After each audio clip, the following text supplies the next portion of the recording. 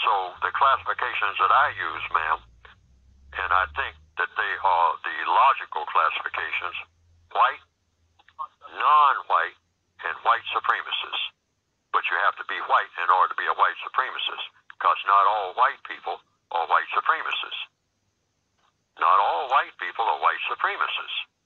But to a victim of white supremacy in the system of white supremacy, you should suspect that any person classified as white who is able to be a white supremacy, white supremacist, probably is one. I mean, that's what you call counter-racist science, and it's based on logic. It ain't personal, it's business. Any white person in the system of white supremacy who is able to function as a white supremacist, meaning to mistreat a non-white person based on color, probably is one in a government, a world government of white supremacy. It's the only logical uh, way to approach it. Why? Why is that logical? Because there is no master list, as far as I know.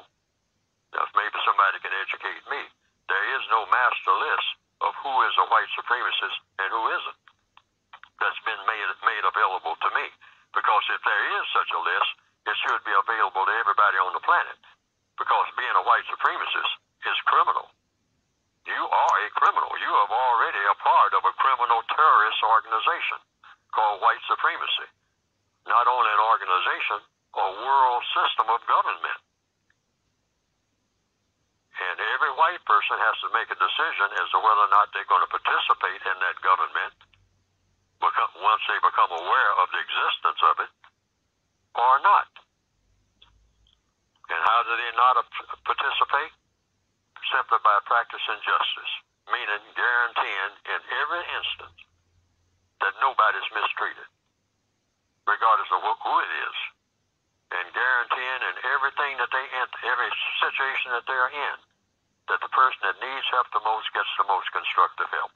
Otherwise, the victim of racism, of which I am one, has a duty to suspect that you, whomever you are as a white person, may be a white supremacist based on logic. It ain't personal, it's business. The logic of what? I don't have a master list. It's just like I'm looking for that some of the race, you might say. And I'm a patrol officer.